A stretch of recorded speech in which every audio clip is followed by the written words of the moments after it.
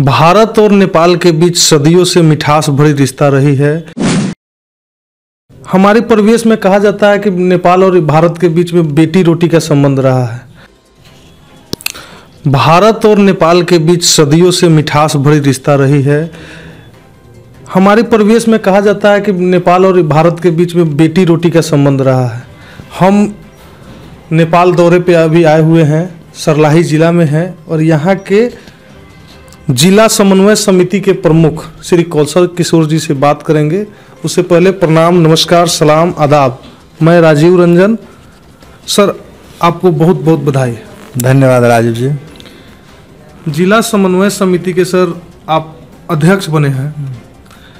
क्या सर इसका ये कार्य कार्य क्या होता है? कार्य का इसका क्या पैमाना है? ये जिला समन्वय समिति का मुख्यतः आपको काम है जैसे जिला के अंतर्गत जितने भी स्थानीय निकाय हैं स्थानीय यूनिट सब है बीस स्थानीय यूनिट यहाँ हैं। उसका और सर जिला स्थित संपूर्ण सरकारी कार्यालय गैर सरकारी कार्यालय का निरीक्षण अनुगमन उसको सशक्त करने के लिए विभिन्न कार्यक्रम कार्यगत ढांचा सब एक हिसाब से मॉनिटरिंग करने मॉनिटरिंग कर, करने का है मेयर का मॉनिटरिंग करना हाँ, है। एक मेयर को सर लगभग जो फंड आता है उस हिसाब से आप जो निकलते होंगे देखते होंगे तो मेयर हम्म। किस हिसाब से कार्य कर रहा है। उसमें सर आपका भी कुछ रोल होता है क्या उसमें? अब उसमें रोल क्या होता है जो हम लोग अब अभी तो अभी यहाँ संघीयता जो आई है तुरंत अब अब ये दूसरा कार्यकाल है। पाँच वर्ष अभी पिछले पाँच वर्ष पूरा किए हैं वो लोग और दूसरे कार्यकाल में हम सहित वो लोग भी हैं। तो अब बहुत सारा एक्सरसाइज अभी हो रहा है। कहीं थोड़ा सा काम में कमी कमज़ोरी भी है। बजटिंग के हिसाब से तो स्थानीय जो सरकार है, स्थानीय तह जो यहाँ हम लोग बोलते हैं,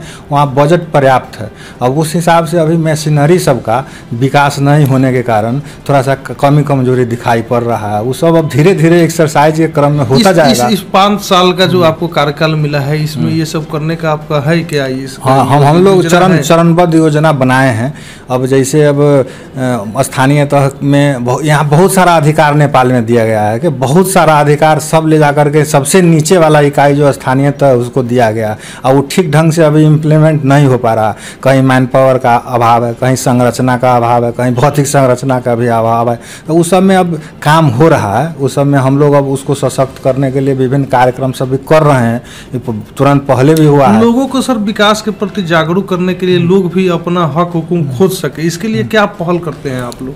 अब ये लोग अपना अधिकार तो खोज रहे हैं। अब सब स्थानीय पहले से जागरूक हुए हाँ। बिल्कुल जागरूक हुए हैं। संविधान भी अधिकार दिया है। यहाँ अब सूचना का अधिकार भी आपको साउथ एशियन कंट्री में जो अधिकार है उससे ज़्यादा अधिकार नेपाल में दिया गया है। हर एक नागरिक को कहीं भी किसी भी कार्यालय किसी भी पदाधिकारी के पास जा करके then and there applicant application दे करके और वहाँ का विकास निर्माण का अवस्था क्या है कितना बजटिंग हुआ है क्या काम हो रहा है वो सब लेने का अधिकार है उस ढंग से वो लोग प्रयोग कर रहे हैं। उसमें जनता को अधिकार जनता को जागरूक कर जन, जनता को सुशिक्षित करने में यहाँ कोई कमी कमज़ोरी नहीं है। सर भारत और नेपाल के बीच सदियों से ये मिठास भरा रिश्ता रहा है। हाल के दिनों में कुछ करवाहट आई है। इस रिश्ते में कुछ करवाहट आई है दोनों देशों के जो बॉर्डर सीमावर्ती क्षेत्र है बॉर्डर पर लोगों के आवागमन में भी कठिनाइयाँ हो रही है।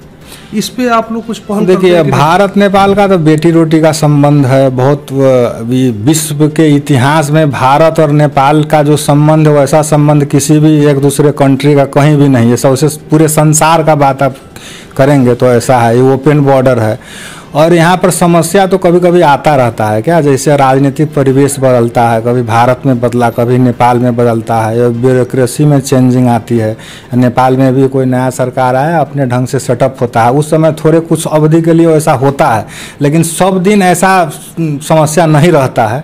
और ऐसे जैसे अभी कहेंगे तो उस पर अब यहाँ हम लोग अभी काम भी कर रहे हैं उस संदर्भ में। बॉर्डर के इशू में सहजता हो, यहाँ सिक्योरिटी उधर से एसएसबी है, इधर से एपीएफ है, अब वो सब का व्यवहार जनता के प्रति थोड़ा नरम हो आवाजागत सुगम हो इसके लिए और भी संघ संस्था से हाथ मिला करके हम लोग काम सरकारें से सरकार जो होती है नीतियाँ तैयार करती है सरकार से इस पर आप लोग अपना पक्ष रखते हैं क्या? सरकार के पक्ष की जो लोगों को आसानी होती थी पहले जो हम लोग को जो जानकारी मिला है आपका ससुराल भी भारत में ही है। ऐसा है जो अब देखिए सरकार टू गवर्नमेंट टू गवर्नमेंट तो काफ़ी है बात। अब गवर्नमेंट टू दिल्ली और काठमांडू की बात है तो दिल्ली काठमांडू तो यहाँ से बहुत दूर है ना? यहाँ बॉर्डर के मधेश में हाँ। आप रहते हैं बॉर्डर के एकदम नज़दीक आप रहते हैं वही- तो आप अपनी बात वही- काठमांडू तक हाँ, हाँ, वही हम आपको कहना चाह रहे हैं इन डिटेल मतलब काठमांडू और दिल्ली। तो आदान प्रदान है नियम कानून संधि समझौता सभी कुछ है लेकिन अब बॉर्डर जो सीमांचल जिसको हम कहते हैं तो यहाँ का जो वस्तु स्थिति है तो काफ़ी दूर है, उतना जल्दी तुरंत का तुरंत नहीं पहुँच पाता है। तो गवर्नमेंट लेवल में तो जो हो रहा है, होता है, होता रहेगा। हो रहा है।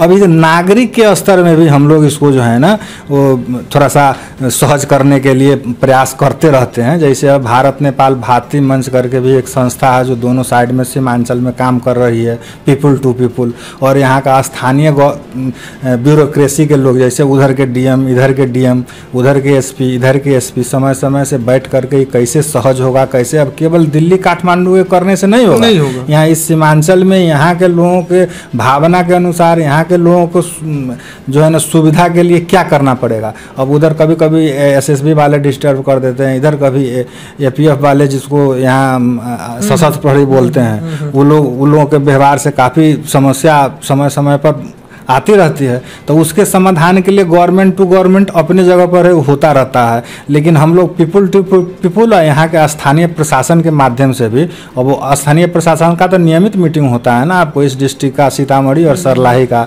सीतामढ़ी और क्या कहते हैं आपको मोहतरी का सीतामढ़ी और ये रौटहट गौर जिसको बोलते हैं नियमित होता रहता। तो हम लोग एज ए जनप्रतिनिधि उन लोगों को ब्रीफ कर देते हैं जो फलाने जगह इस ढंग की समस्या है वहाँ आने जाने में कठिनाई हुई है या कहीं पे कोई क्राइम का अवस्था नेपाल है। में सर शुरू से ही नेपाल का जो मार्केटिंग जो ये अपना अपना जो मधेश क्षेत्र पड़ता है तराई क्षेत्र जिसको बोलते हैं इसका एक मार्केटिंग का हब रहा है बॉर्डर सीमावर्ती क्षेत्र जैसे आपको सीतामढ़ी हो गया बरगेनिया हो गया रक्सौल हो गया घोड़ासन हो गया इस बाज़ार से लोग मार्केटिंग के लिए जाते हैं लेकिन हाल के दिनों में जो आपका सिक्योरिटी फोर्सेज लगा है इस पर इतना ना ये किया है कि थोड़ा सा रिश्ते में दरार जैसे दिख रहा है। हाँ वैसा उसमें क्या है जो देखिए अब पहले और अभी नहीं वो तो क्या है जो बॉर्डर साइड का बहुत सारा जगह जो है वो भारतीय बाज़ार पर डिपेंड ही है आपको।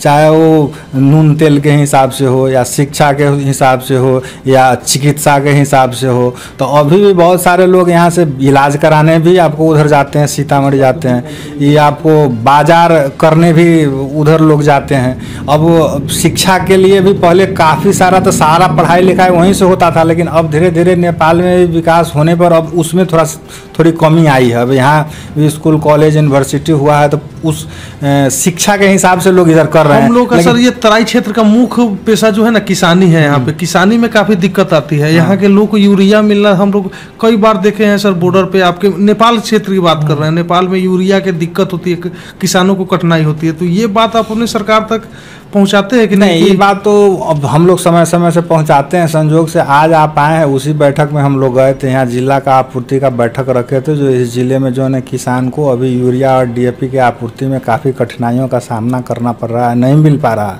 और उधर से भी थोड़ा सा अब अब गवर्नमेंट टू गवर्नमेंट तो उधर से फर्टिलाइज़र तो आपको आ, आता है यहाँ नेपाल सप्लाई और और और अनेक कंट्री से आता है तो उससे यहाँ पहुँच नहीं रहा है।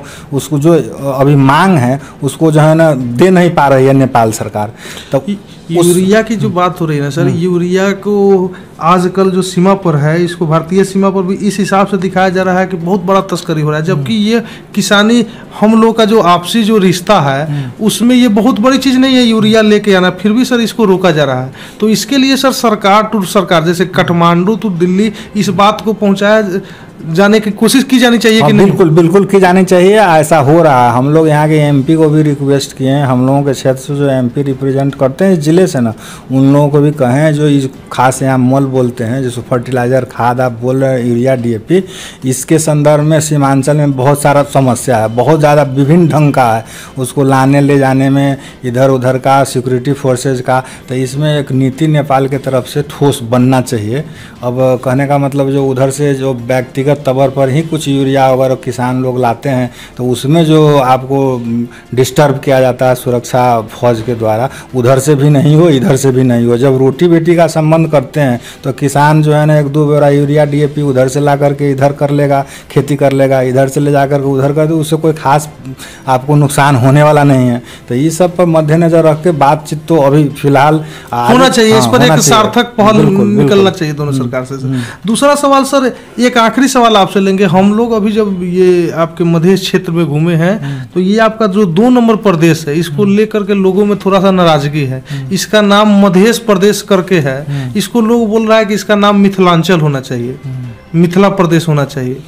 देखिए, अब इसमें क्या है? आप तो ठीक कहें अब घूमे, नाराज़गी की बात है। अब दो नंबर प्रदेश अभी नहीं रह गया। अब इसका नाम मध्य प्रदेश नामाकरण हो गया है क्या?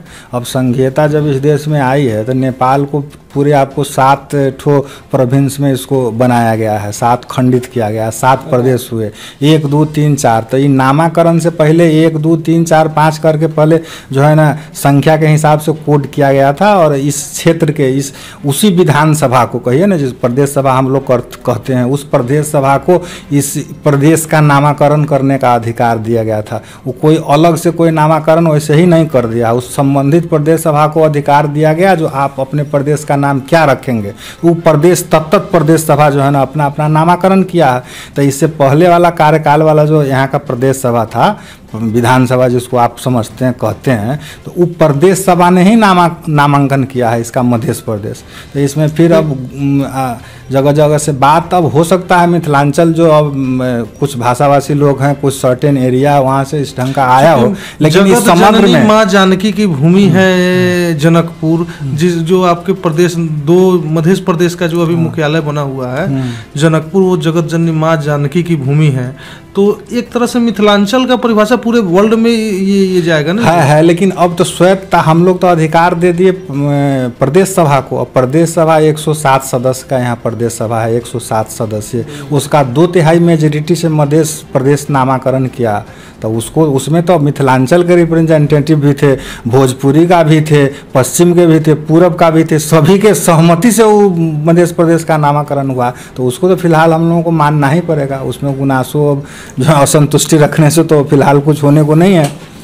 चलिए, ये थे हमारे साथ कौशल किशोर सिंह जी, सरलाही जिला के समन्वय समिति के अध्यक्ष। सर, हम लोग को समय देने के लिए बहुत बहुत धन्यवाद। धन्यवाद धन्यवाद।